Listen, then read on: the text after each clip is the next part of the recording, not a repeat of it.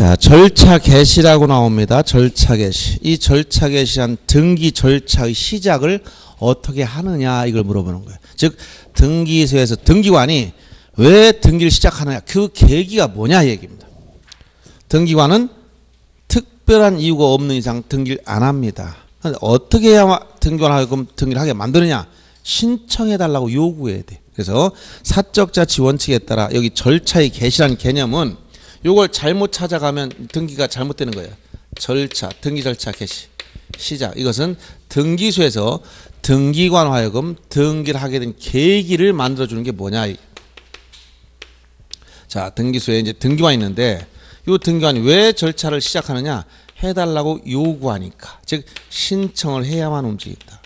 요 신청이라는 것은 사적 자치 원칙에 따라서 즉 당사자 간에 예를 들어서 사고 판다, 전세권 설정한다, 저당권 설정한다 이런 거는 계약입니다. 서로 의사의 합치에 따라 이루어지는 거예요. 즉 이건 사적 자치 영역이야. 개인 간의 마음대로 하는 거예요. 그러면 등기도 어떠냐? 이 사적 자치 연장으로 신청하고 싶으면 해라. 신청하지 않으면 등기 안 해줘요. 즉 등기 나와서 어 등기해줄게 가져가지 않는단 말이에요. 해달라고 요구해야 돼. 이 신청할 때는 원칙이 어떤 거야? 공동 신청. 공동 신청을 원칙으로 한다. 즉 공동이라는 것은 등기 걸자 의무자와 함께 신청하는 거. 근데 예외적으로 상대방이 존재하지 않을 때는 어떻게 단독 신청. 이렇게 공동이든 단독이든 다 신청해 신청. 신청을 해야만 절차가 개시돼요. 신청하지 않으면 등기를 안 해줘요. 근데 신청한 주체가 개인이 아니라 관공서일 땐 용어를 바꾸겠다는 거예요. 뭐냐? 대등한 지위에 있는 관공서끼리는 용어를 촉탁이라는 용어를 쓴다는 촉탁. 이것은 주체가 관공서일 때는 자 이렇게 촉탁이라는 용어를 쓴다. 그래서 여러분 지적에서 등기 촉탁 즉 지적 소관청인 시장군수청장이 등기해달라고 요구할 때 이건 촉탁이다 이런 표현을 쓴단 말이에요. 그런데 요게 그래서 신청 또는 촉탁에 의해서 개시되는 게 원칙인데 예외적으로 등기관이 직접 자기가 그냥 해버려 직권으로 이건 아무 때나 하는 게 아니야. 법률에 특별 규정이 있어야만 돼. 그래서 직권을 하거나 등기관 결정 처분이 부당하면 이의 신청을 통해서 법원에서 등기를 하도록 명령을 내립니다. 명령. 요 두 가지는 예외적인 거예요. 그래서 예외적인 건데 요 명령에 의한 등기는 이의 신청 과정에서밖에 없기 때문에 여기서밖에 안 나와요. 그래서 이의 신청 등기관이 결정 처분에 불복하는 제도가 이의 신청인데 요때밖에 없어. 그래서 나온다면 직권에 등기 종류가 많다는 거예요. 요 예외적인 거. 요게 시험에 많이 나와죠. 그래서 직권 등의 특히 직권 말소. 요게 시험에 많이 나오는 편이다. 이렇게 알아두시고 그럼 여기서 나머지는 나머지는 여기서 무엇을 알아야 되느냐? 첫째, 신청에 의할 때 신청 의무 문제를 일단 알아야 돼. 신청. 그래서 거기 강의 노트 보세요. 원칙은 임의 신청이다. 그러나 예외적으로 등기법에 의무 있는 것은 1개월 이내 신청 의무가 있는 게 있어요. 표제부에서 하는 등기, 표제부. 즉 등기 표제부. 자, 이 표제부의 등기, 이 신청할 때 부동산 등기법상 있는 의무가 1개월 이내 하는 건데 이것은 등기 표제부의 경우다. 표제부. 작년에 건물의 경우도 과태료 중에 삭제해서 지금은 위반해도 과태료는 없어. 1개월 이내. 자, 표제부의 등기 다 1개월입니다. 예를 들어서 토지 지목이 바뀌었다. 그럼 어떻게 돼? 지목 변경은 지적에서 했고 등기 오면 등기법상 부동산 표시 변경 등기를 돼. 1개월 이내. 건물 증축했다. 1개월 이내 변경 등기 신청이 돼. 표제부 서는 거니까. 표제부. 이것은 대장과 대장과 등기부 간의 사실관계 일치를 위해서 등기법상 의무를 규정한 거. 이원적 공시방법에서 지금은 위반에도 전부 다 뭐가 없다고 과태료 규정이 다 없어졌어. 건물에 관한 것도 다 없어졌어. 그러면 부동산 등기법상 표제비 등기는 1개월 이내 하는데 자 여기 예외적으로 의무가 있다면 이런 거예요. 의무가 있다면. 그다음 부동산 등기 특별조치법에 가면 부동산 등기 특별조치법에 가면 중요한 등기에 대해서만 60일에 신청해야 돼. 이때 중요한 등기가 뭐냐? 두 가지입니다. 소유권에 대해서. 소유권. 소유권 이전 등기. 소유권 이전 등기. 그 다음에 소유권 보존 등기. 이 두 가지 문제가 돼요.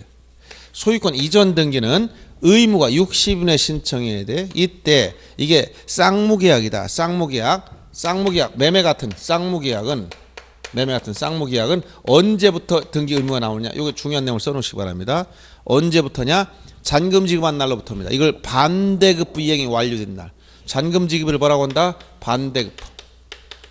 반대급부 이행이 완료된 날. 이행이 완료된 날. 이 날이 무슨 날이라고? 잔금 지급한 날로부터 60일에 등기 신청해야 돼.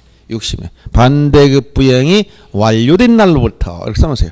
반대급부 이행이 완료된 날로부터 60일에. 위반하면 전부 다 이것들은 여기 특별지법 상 의문 위반하면 산출된 세액의 산출된 세액의 다섯 배 이하의 과태료예요. 그다음 편무계약, 증여 같은 거, 편무계약. 부담 없는 증여 이런 건 언제부터냐? 소유권 이전을 받을 때 증여로 한 이전 등기는 계약의 효력이 발생한 날, 증여 계약, 계약의 성립한 날이 아니고 뭐라고? 효력이 발생한 날로부터. 자, 성립한 날이 아니고 뭐라고? 효력이 발생한 날이야. 계약의 효력이 발생한 날로부터 60일 내에 이전 등기 신청해야 돼요. 알아두시고 그다음에 소유권 보존 등인 원칙적 의무가 없다 그랬어요. 이것은 원칙적으로 보존 의무가 없다는 것은 건물 신축했을 때 그냥 죽을 때까지 살다 가도 의무가 없으니까 보존이 아니도 됩니다. 그러나 예외적으로 의무가 나와 예외적으로 의무가 나오는데 나오면 다 60이네요. 이때는 이때는 자 이게 완성된 상태의 건물이냐 즉 언제냐면 요거 저 예외적으로 의무가 있는 것은 소유권 이전 소유권 이전하는 계약을 체결하게 되면 먼저 보존 등기부터 먼저 할 의무가 튀어나옵니다. 이때 이미 완성된 건물이냐 아니면 완성되지 않은 미완성 건물이냐에 따라서 달라집니다.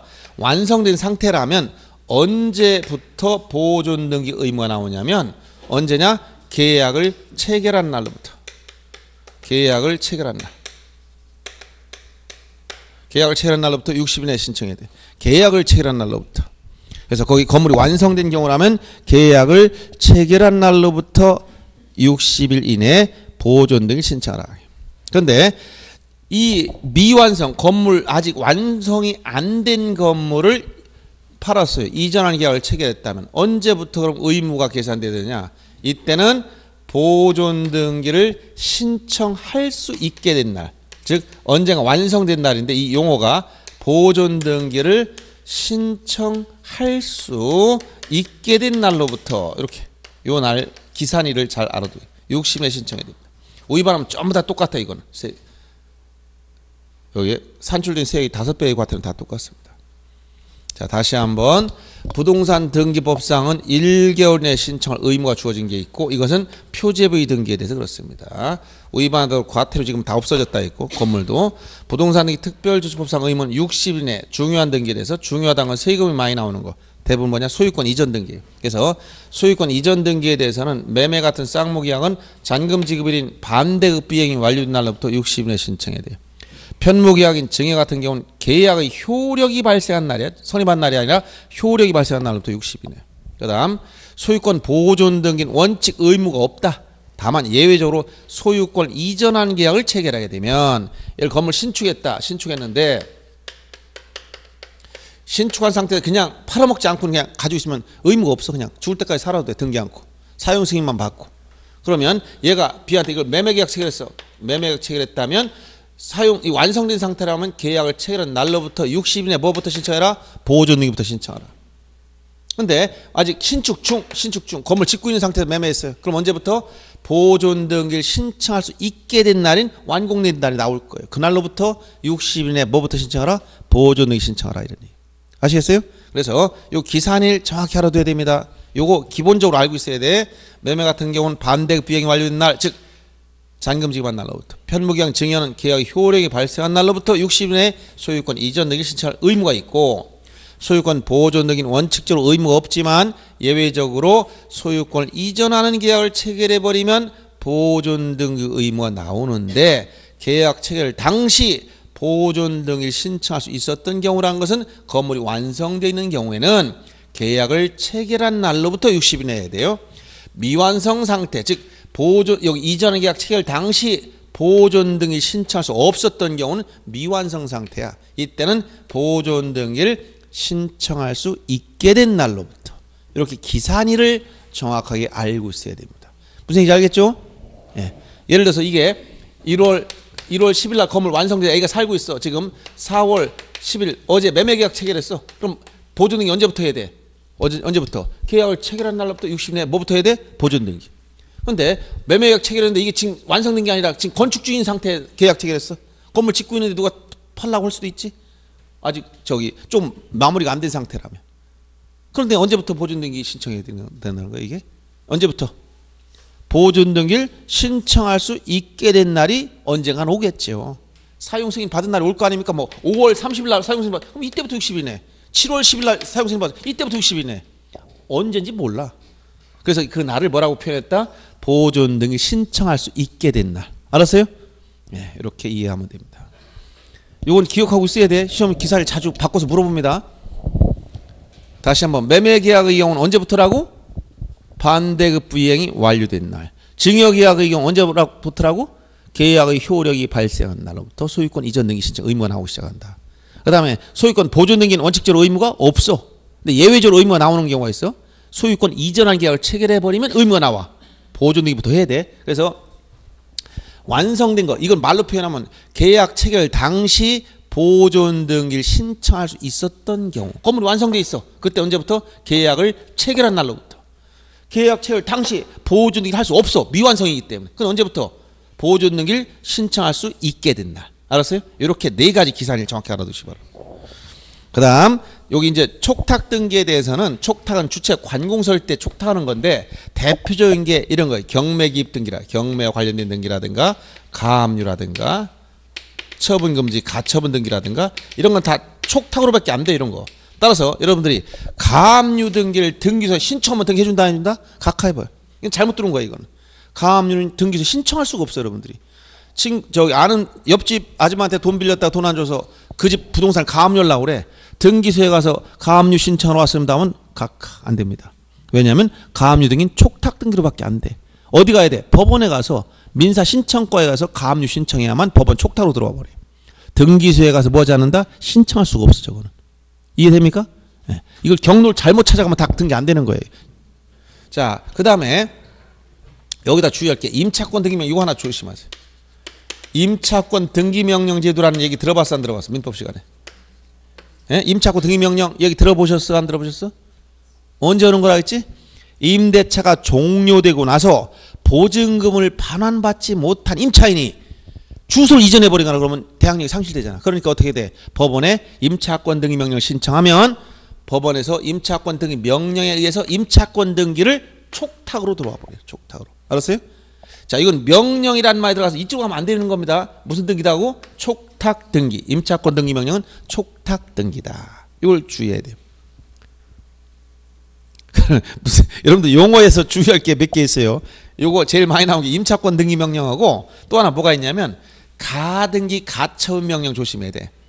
요 가등기 가처분 명령에 따른 가등기를 신청할 수 있는데 요 가등기 가처분 명령 시험에 자주 나옵니다. 이거는 여기 명령도 아니고 요 이름만 들어갔다. 요 가처분도 아니 요 가처분도 아니야. 이거는 처분 금지 가처분이야. 촉탁 등기로 한 가처분 처분 금지 가처분 말하고 요 가등기 가처분 명령은 이거는 가등기를 법원 판결 받아서 단독 신청하는 경우입니다. 단독 신청. 그래서 가등기 가처분 명령 나오면 저건 단독 신청 사건이다. 이거 주의해야 돼. 용어상 혼동되지 않아야 될 게 두 가지가 있어요. 가등기 가처분 명령과 임차권 등기 명령 이두 가지 조심해야 돼. 임차권 등기 명령 무슨 등기라고? 촉탁 등기. 가등기 가처분 명령 뭐라고? 단독 신청. 신청 중에서 공동 신청 예외로서 단독으로 신청하는 거. 이 두 가지가 시험에 자주 나옵니다. 이거 주의할 게 저거고.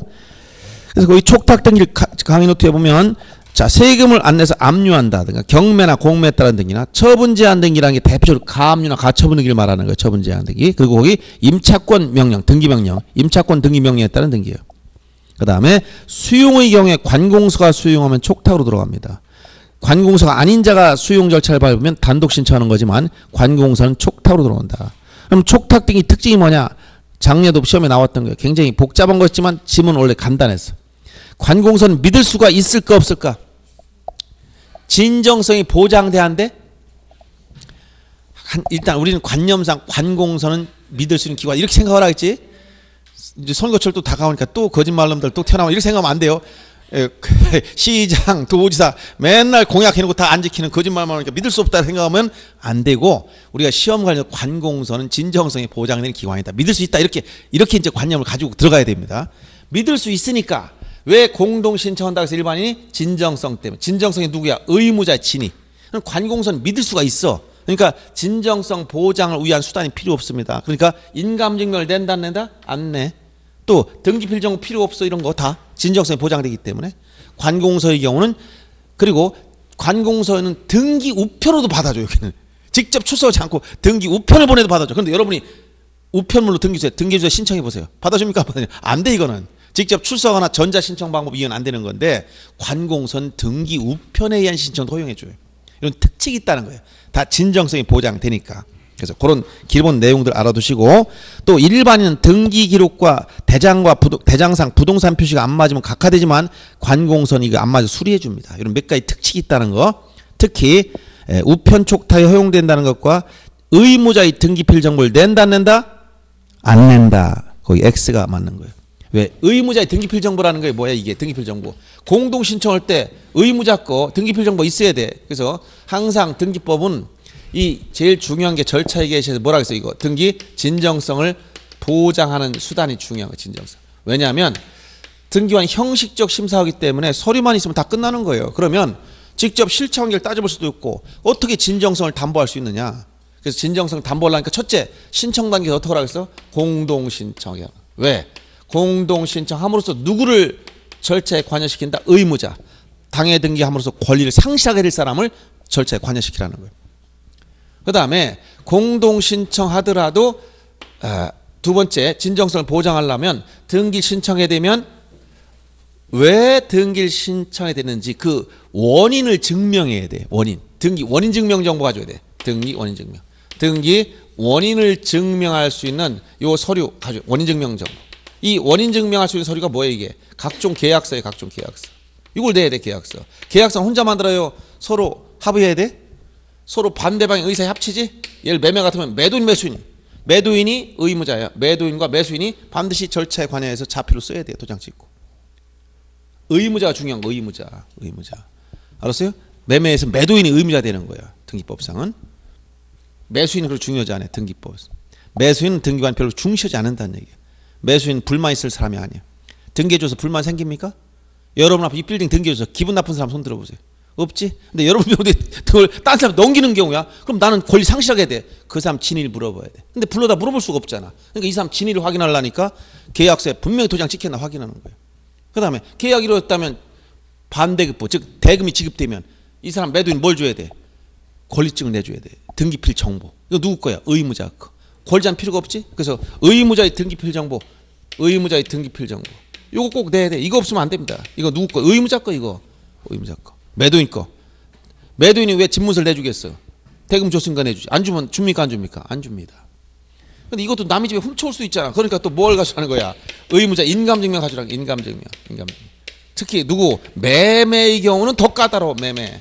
매매는 매도용 인감이 따로 있어 이거. 그래서 이거는 매수자 인적사항을 매도인이 직접 써서 발급해 줘야 돼. 그렇지 않으면 안 돼, 저거. 그러니까 저건 담당 공무원이 일, 전부 다 본인 신분 다 확인하고 매도인일 땐 매수자 인적상 계약서에 있는 내용 그대로 써줘야 돼. 글자 하나 틀리면 또 안 됩니다. 이런 식으로 이렇게 진정성을 보장한다는 것은 진정성이라는 것은 바로 누구냐? 의무자의 진을 말하는 의무자 진위. 알았어요? 이런 제도 때문에 형식적 심사를 하지만 함부로 권리가 넘어가기 어려워요. 본인이 반드시 관여해 주기 전에 안 됩니다. 저기. 그래서 이러한 절차의 진정성 보장. 그래서 여기서 요 등기필 정보가 의무자 진위를 보장하는 건데 관공서는 의무자일지라도 촉탁 들을 땐 진정성이 보장된다는 거예요. 그러니까 낼 필요 없다는 걸 얘기하는 거예요. 관공서는. 그러니까 내가 예를 들어 둔사 여기 서구청으로부터 땅을 샀어. 그럼 관공서 의무자지. 그럼 촉탁할 수가 있단 말. 관공서. 서구청에서 등기 촉탁하려고 그래. 그럼 등기필 정보 낼 필요 있다 없다? 없어. 진정성이 보장되기 때문에. 이런 얘기예요.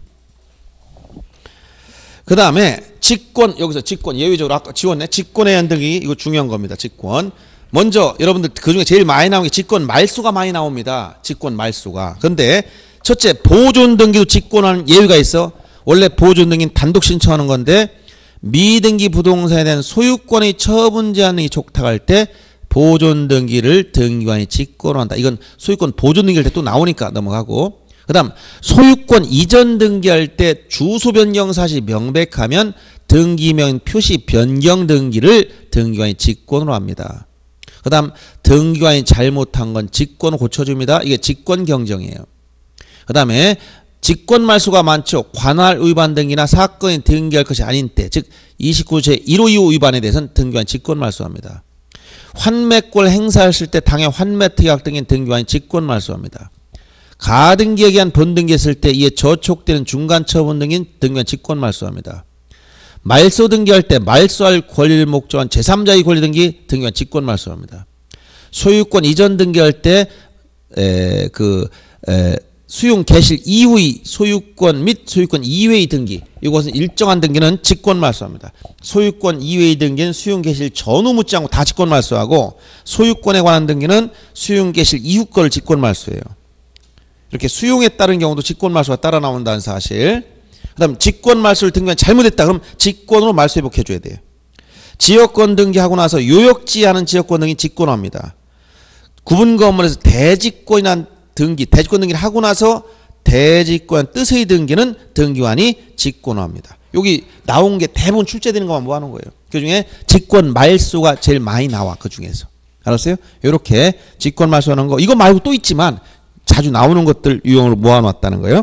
그다음 명령에 따른 것은 이의 신청 과정에서밖에 없기 때문에 자 이의 신청에 대해서 결정하기 전에는 가등기 명령이나 이의 신청이 있다는 부기등기 명령이 가능하고 결정한 다음엔 상당한 처분을 명령합니다. 그래서 거기 가등기 명령이나 부기등기 명령은 이의 신청에 대한 결정 전에만 가능한 결정. 그래서 여기서 여러분들이 에, 그 절차 개시에서 알아야 될 것은 바로 뭐다 의 저희 의무가 있는 등기에 대해서 언제부터인가 그 기산일 문제하고 직권에 의한 등기 중에서 특히 직권 말소 요거 주의하면 돼요 여기서 나올 수 있는 그 정도입니다.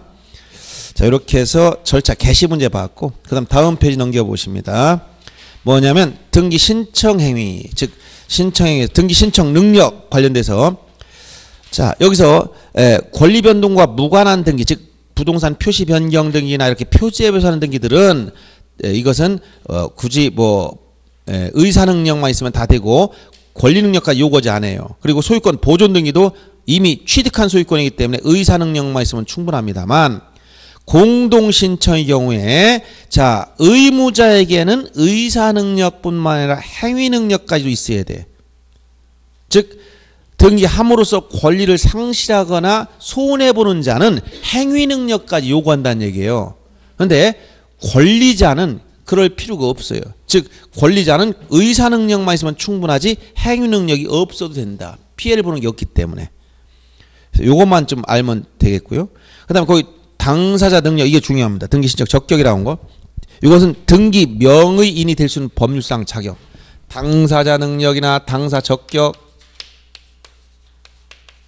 여러 표현을 써요. 적격. 다른 말로 법률상 등기 명의인이 명의인이 될 수 있는 될 수 있는 법률상 자격이다. 자기는 법률상 자격. 이렇게 생각하면 됩니다. 법률상 자격. 등기 명의자 될 수 있느냐 이런 얘기예요. 그럼 등기 명의자가 누구냐? 부동산 등기 부동산이 귀속 주체를 말하는 거예요. 부동산 귀속 주체. 그러면 부동산의 물권 권리 귀속 주체니까 민법상 뭐 관련해서 권리 능력자를 말하는 거예요. 즉 적격이 있는 자 자기 이름으로 등기할 수 있느냐 이걸 물어봐. 적격이 있는 자가 있고 없는 자가 있어요. 있는 자 누구냐? 자연인은 당연히 됩니다. 자연인. 자연인은 권리 능력이 있으니까 당연히 등기 명의자 될 수 있는 거예요. 능력 유무 내 외국인 묻지 않아. 외국인이든 우리나라 막 태어난 세 살짜이든 등기 명의자 될 수 있어. 능력 유무 묻지 않는다. 근데 자연인 말고 또 뭐 되느냐? 법인도 당연히 법인도 법인 앞으로 등기하는데 법인의 종류를 묻지 않아. 예를 들어서 재단법인, 사단법인, 영리법인, 비영리법인, 뭐 공익 공 사법인, 공법인 묻지 않고 법인이기만 하면 다 돼. 법인이기만. 근데 법인 중에 특히 문제되는 게 공법인이야, 공법인. 요 공법인 중에서 독립적인 법인격 있는 게 어디까지냐? 기초자치단체, 즉 특별시, 광역시, 특별자치도나 밑에 시 군, 요 군은 자치구, 시군 자치구까지. 여기까지가 권력 능력이 있고 요 밑에 있는 게 뭐야? 요번에 지방선거에서 단체장 뽑아주는 데까지야. 알았어요? 시장, 군수, 구청장까지. 대전은 구가 자치구지? 서구청장, 유성구청장 이런 구청장을 선거로 뽑아줘. 이런 걸 자치구라고 그래. 여기까지는 공법이냐? 근데 그 밑에 있는 게 뭐야? 읍이나 면이나 동이나 리 이건 공법인 자격이 없습니다. 읍면동리 공법인 자격이 없어. 다만 주의할 게 여기서 동리는 공 법인은 아닌데 요 세 번째 특이한 여기 들어가 뭐냐 권리능력험 사단 비법인 이건 요 명칭이 많아요. 비법인 사단이나 비법인 재단 법인격은 없지만 사람이 단체 재산이 단체 실체가 있다는 거예요. 그래서 비법인 사단 대표적인 종중 같은 걸 말합니다. 종중 즉 교회나 정당 종중 같이 대표자나 관리 있는 권리 능력 없는 사단 재단의 경우는 누구 앞으로 등기하느냐 그 사단이나 재단 즉 종중 자신이 직접 권리자 의무자 된다는 건 명의자 된다는 거예요. 그래서 요것 때문에 요게 민법상은 총유 부동산이라고 하는데 총유 등기가 없어. 총유 재산 소형태만 있지. 총유 등기란 없어. 누가? 종중 앞으로 직접 등기해 버려. 예를 등기부에 소유자라는 게 가면 이렇게 나왔어. 김해김 씨, 김해김 씨, 뭐 사공파만 이렇게 나왔다. 요게 소유자야. 이게 종중이잖아요. 직접 종중 앞으로 등기해. 그리고 다만 여기 대표자 누구냐? 대표자 김 아무개 인적상 써주긴 써줘요. 명의자는 요거예요. 김해김 씨 사공파 이게 명의자입니다. 이렇게 된다는 걸 이해하셔야 돼요. 시험에 자주 나옵니다. 그래서 이 부분이 민법과 다른 점에 민법은 권리 능력이 없었지만 부동산 등기법이나 민사 소송이 하면 당사 적격 인정되는 게 권리 능력 사단 문제예요. 이거. 그리고 적격이 없는 자 중에 자연인과 관련 문제되는 게 뭐냐? 태아. 태아. 태아는 아직 출생을 안 했어. 우리나라는 출생해야 자연이냐? 출생 전의 상태야. 근데 민법에 가면 태아도 보호를 해줘요. 일정한 즉 상속도 받을 수 있고 다 할 수 있어. 태아 상태에서. 그래서 태아 프로그램 등기할 수 있느냐? 요건 별개의 문제야. 그래서 우리나라는 태아의 어떤 지위와 관련해서 어, 태아도 어, 상속 순위나 일정한 경우는 에, 권력력을 인정해 주지만 등기와 관련해서는 판례가 취하고 있는 학설이 뭐냐? 정지 조건설이라는 거야. 정지 조건설. 태아가 살아서 출생해야만 문제의 시기로 소급해서 인정해 주겠다는 거예요. 살아서 출생해야만. 태아 상태에서는 모체 일부니까 자기 앞으로 등기할 수 없어요. 그래서 이런 경우는 적격이 없다는 거, 없는 거. 적격. 두 번째가 민법상 조합이라는 거예요. 민법상 조합. 민법상 조합은 예를 들어 이건 각종의 동업 계약을 하는 동업 계약. 개나 여러분들 여자들 많이 개 같은 거 있죠? 이런 걸 민법상 조합의 형태로 봅니다. 그래서 친구들 몇 명이 모여서 우리 동업을 합시다. 동업 계약 썼어. 이게 뭐다? 민법상 조합의 형태야. 법인은 아니야. 그래서 이런 민법상 조합은 재산 수형태는 합유라고 해요. 합유.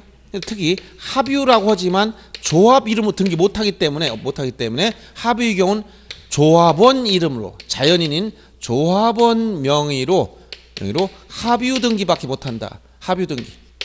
합유 등기밖에 못하는데 특징이 또 민법상은 합유 지분은 있지만 합유 지분은 또 등기상이 아니야. 합유 지분은 등기하지 않아요. 등기할 수 없어. 공유 지분은 등기되지만 합유 지분은 등기할 수 없어. 그러다 보니까 무슨 문제 생기냐면 합유 지분을 가압류해 주세요. 할 수 있어 없어? 못 하는 거예요. 지분 등기 안 되기 때문에. 그리고 조합원이 상함하면 전부 다 합유 등기명인 표시 변경 등기로 들어갈 수밖에 없어. 요 부분 일단 주의해야 돼요. 그래서 조합은 적격이 없다. 그래서 조합원 자연 앞으로 등기할 수밖에 없다. 그다음에 세 번째 각급 학교. 요 각급 학교는 이것은 학교는 시설물에 불과해. 그래서 학교는 적격이 없어요. 학교 이름. 그럼 누가 풀어냐 학교는 배후에 있는 재단법인 앞으로 해야 돼. 그래서 국립이나 국공립은 국공립은 국가나 지방자치단체 이 공법인이야. 지자체. 이 공법인 앞으로 합니다. 공법인. 법인 앞으로 들어가고 사립학교 같으면 사립학교는 사립 누구로 학교냐? 배후에 있는 재단 앞으로 재단법. 재단법인 명의로 들어가야 돼. 재단법. 그래서 재단법인 무슨 무슨 학원 산하에 무슨 대학교나 뭐 고등학교 이런 게 나온단 말이에요. 그러면 학, 이 재단 법인이 법인격 주체가 되지 학교 이름으로 등기한 경우는 없습니다. 이걸 꼭 주의해야 돼요. 그 다음에 등록 안 된 사찰 가끔 이게 문제될 때 등록이 전통 사찰 보존법에 따라 등록이 안 된 사찰 같으면 사찰 같은 경우는 원래 사찰이 전통 사찰 보존법에 등록이 되면 권리능력 사단으로 들어갈 수 여기로 갈 수가 있어요. 그럼 등록이 안 됐을 때는 주지 개인 앞으로 자연인은 주지 개인 앞으로 자연인인 주지 개인명으로 주지 개인 앞으로 등기한다. 이렇게 등 요거밖에 안 돼요. 사찰 이름 등기 못 합니다. 내가 여기다 큰 절 여기 계룡산 입구에다 큰절 하나 세우고 앞에다 크게 이렇게 하나 파- 현판 하나 붙이고 인연사 이렇게 써놨어. 인연사 등기할 수 있느냐? 없어. 제 개인 앞으로 해야 돼. 알았어요? 그래서 전통 사찰 보존법에 따라 등록이 안 된 상태에서는 이것은 사찰 이름 등기가 안 된다. 그래서 전형적으로 문제되는 게 이거예요. 자연인과 법인과 비법인 사단 재단은 등기할 수 있지만 민법상 자 태아 문제는 정지 조건서를 판례가 취하할 때 판례의 태도인 정지 조건서에 의하면 적격이 없고 민법상 조합 자기 앞 등기 못합니다. 근데 주의할 게 민법상 조합이 아닌 특별법상 조합 이렇게 하면 달라요. 이 특별법에 따라 이 특별법상의 조합도 있어. 이게 뭐냐? 농협협동조합이나 신용협동조합 같은 건 이건 특수법인체가 법인 이쪽 가기 때문에 당연히 자기 앞으로 등기하는 거예요. 특별법에 의해 성립된 조합은 이건 조합이 아닌 명칭만 조합에 붙어 있을 뿐이야. 특수법인이야. 그래서 이 아까 그래서 민법상 조합은 동업 계약을 했거나 아까 개조직 이런 걸 얘기한다고 말씀드린 거예요. 주의하시면 되고 각급 학교 적격이 없다. 따라서 국공립은 국가나 지자체 명의로 사립은 재단 법인 앞으로 해야 된다. 자, 이렇게 해서 시험에 나올 수 있는 부분은 이런 시험에 지금까지 자주 나왔던 것은 특히 종중 문제 자주 나오고 그다음에 조합 문제하고 민법 조합 문제, 요 학- 각 학교 문제 이런 거예요. 자, 그럼 거기 밑에 나온 거 보세요. 예제. 동리는 적격이 있느냐 물어보면 동리는 원래 공법인 자격은 없어. 그런데 권리 능력은 사단인 자격을 가질 수가 있다. 즉 행정 명칭과 동일한 명칭으로 마을 이장이나 이런 사람들이 있고 대표자 관리는 있잖아. 그리고 이럴 경우는 마을 이름으로 등기할 수가 있어요. 이것은 공법인 자격이 아니라 주민들이 단체가 돼서 권리 능력 없는 사단을 형성해서 가능하다는 거예요. 요 부분만 주의하면 되고.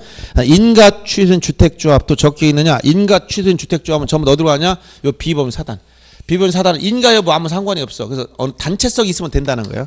그래서 인가 취소된 주택조합도 권리 능력 없는 사단으로 적격이 있습니다 그 다음 서울특별시 사후대책본부는 적격이 없습니다 서울특별시가 뭐야 서울특별시가 공법이냐 여기 공법이냐 서울특별시 앞으로 등기하는 거지 그 밑에 있는 그 하부 조직 즉 하나의 부서에 불과한 사구대책 본부는 적격이 없다는 거예요.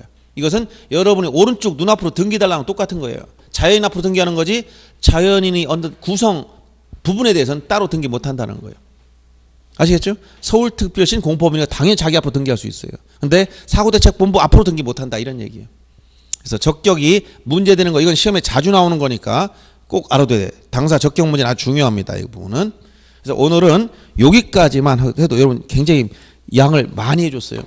오늘 오늘 자 이제 네 번에 걸쳐 하다 보면 어쩔 수 없이 그렇다고 해서 막 건너뛸 수 없으니까 제가 에, 지적 측량 관련해서 복습하는 의미에서 지적 측량 기본 개념 그 다음에 절차 이걸 하고 그 다음에 지적 기준점 표지 설치 관리 문제하고 특히 지적 측량 적부 심사에 관련해서 지적 우연의 내용을 정리해 줬죠. 그래서 적부 심사 절차는 누가 신청한다고 했지 아까 토지 소유자나 이해관계나 지적 측량 수행자가 측량에 다툼이 있으면 어디를 가라 하겠어요?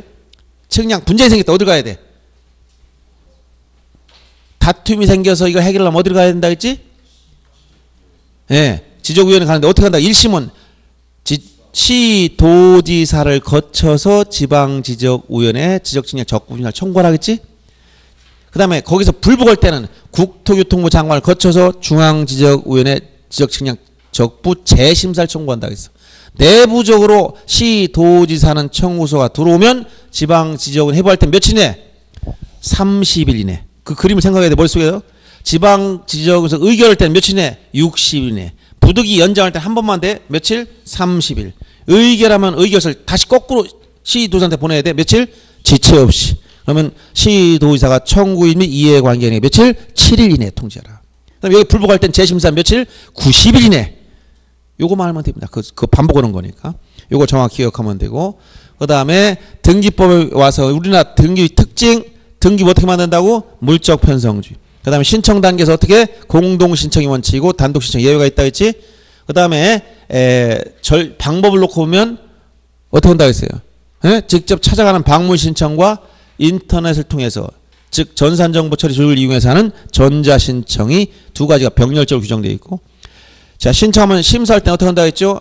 형식적 심사 그 다음에 물권 변동에 관해서 우리는 어디 독일법을 개설했다고 했지? 독법주의 형식주의 성립요건주의를 취하고 있다. 그 다음 등기를 믿고 거래했을 때 보호해준다 안 해준다? 안 해준다. 이걸 뭐라 그랬어요? 공신력이 부정된다. 공신력이 없다. 예외가 있다고 해서 없다고 해서 예외가 없다 얘기죠. 예외가 없다. 꼭 기억해야 돼. 제3자 보호 규정은 특별 규정일 뿐이다. 이렇게 얘기했습니다. 자 그 다음에 손해를 입었을 때 공무원이 고의나 과시했으면 국가 배상 책임을 규정하고 있는데 이것은 부동산 등기법에 나온 게 아니라 국가 배상법상 규정이다 이런 얘기를 했죠 그 다음 등기 사항에 대해서 등기할 물건과 권리와 권리 변동을 공부했고 거기서 뭘 봤어요? 부동산 일부, 권리 일부 문제 했지? 그 다음에 등기와 물권 변동과의 관계에서 등기 없이 물권 변동이 생기는 거 상속이나 포괄유증 그 다음에 해사병 문제 그 다음에 수용 그 다음에 형성 판결 그 다음에 경매 이런 내용을 했어요. 예시를 든거그 다음에 그 어, 권리 변동 중에 특히 등기할 수 있는 거 없는 거 시험에 자주 나온다고 말씀드렸고 그다음 등기 효력 관련해서 전국 등기 효력을 공부했어요. 어떤 거? 권리 변동 물권 변동 효력 대항적 효력 그 다음에 점유적 효력 즉 취득 시기가 단축시키는 효력이 있다 했지. 그 다음에 형식적 확정력인 후등기 저지력 그 다음 순위 확정적 효력과 추정적 효력 이런 내용을 공부했어요. 그 다음 등기 유효요건 관련해서 유효요건을 완화한 판례의 태도가 자주 시험에 나온다. 그래서 뭘 배웠지? 중간 생략 등기 문제 그 다음 원인을 허위로 썼을 때 문제 그 다음 무효 등기 유용 문제 이걸 공부했어요. 그 다음 등기소 등기관 등기부에서는 간단하게 말하도록 하겠습니다. 특히 등기소에 대한 관할 문제 법정됐지만 관할 경합이 생겼을 때 자 상급법원장이 지정한다. 지정권자는 상급법원장이라고 했고 건물이 경험한 경험이 생길 수 있다 그랬지? 그 다음에 관할 우임권자 대법원장 그 다음에 정지 명령권자 누구야? 역시 대법원장 등기관 지정권자 누구라고 해서 지방법원장 그 다음 장부에 대해서 어, 어, 폐기하려면 어떻게 한다 했지? 지방법원장 인가를 받아야 되는데 전산화된 것은 법원행정처장 인가를 받아서 폐기하라 이렇게 했죠? 그 다음에 공부한 것이 또 뭘 공부했어요? 등기부에 대해서 특히 구분 건물 등기부는 어떻게 만든다고 했죠? 일동 전부에 대해서 일등기를 써라. 그러나 등기상 증명서 발급이나 열람할 때는 일동 전체의 표제부와 해당 전유분에 대한 등기 기록을 일등기로 본다.